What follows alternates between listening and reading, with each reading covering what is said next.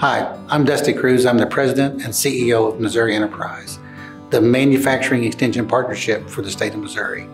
We have locations in Rolla, Springfield, St. Louis, Kansas City, and Cape Girardeau. We provide strategic and operational assistance to small to mid-sized manufacturers throughout the state of Missouri. We exist today because Missouri is a $332 billion economy, representing over 8,600 manufacturers with almost 300,000 employees.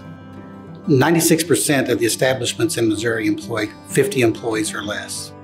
Missouri has three major industries manufacturing, mining, and agriculture. In mining, Missouri produces 90% of the nation's lead. In manufacturing, Missouri is blessed to have manufacturing in aerospace, automotive, transportation equipment, chemical, electronics and electrical equipment, and many more.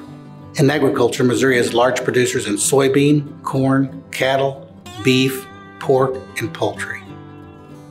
So I think you can easily say that Missouri, we can mine it, make it, or grow it, and that we're a significant contribution to the economic wealth of this nation.